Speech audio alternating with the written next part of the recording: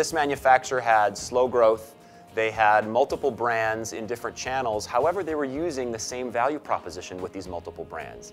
Um, and that led to a lot of channel conflict. It was a conflict because there were different distributors who were getting the same offering, the same value proposition, but with different brands. So that complexity in what their portfolio was like was leading to a lot of a lot of confusion between the distributors and the mass retail channel um, that ultimately they were asking the manufacturer for how are you going to solve this? How are you going to solve your brand portfolio strategy and deliver perhaps differentiated value propositions to different customers? The big insight that we found is that um, the decision-making process in here involves different stakeholders. There are B2B contractors. These are the kind of contractors who are selling to uh, homeowners. Homeowners have problems with uh, durable good equipment, appliances in their home, and they, they needed to have an understanding of how the end users also make decisions when one of these appliances breaks.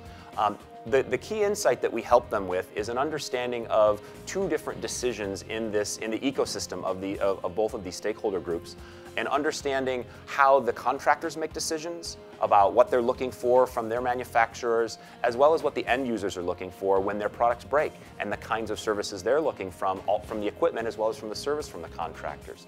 By having this segmentation that looked at, uh, you could look through two different lenses of the B2B contractors or of the end users, that allowed them to get some compelling insights on the value proposition and on the brands that were required and what kind of brand strategy did they need to have. That really gave them the powerful uh, base of insights to develop their go-to-market strategy.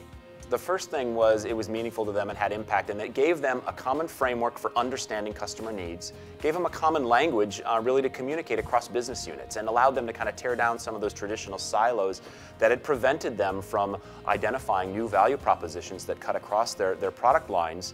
Um, and that, that was a new opportunity of growth for them, identifying this new, this new value proposition that cut across their business units and allowed them to extend into different channels. Uh, and the, the, end result of that, at the end of the day, they were able to see new growth. They were able to see incremental growth in a new channel that they'd never seen before um, and had record volumes moving into the mass retail channel.